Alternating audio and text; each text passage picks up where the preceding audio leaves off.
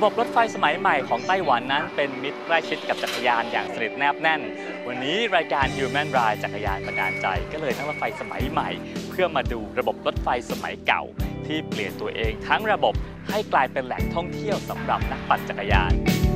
รายการ Human Ride จักรยานบันดาลใจ ทุกวันอาทิตย์4ทุ่ม5นาทีทางไทยทีวีเอส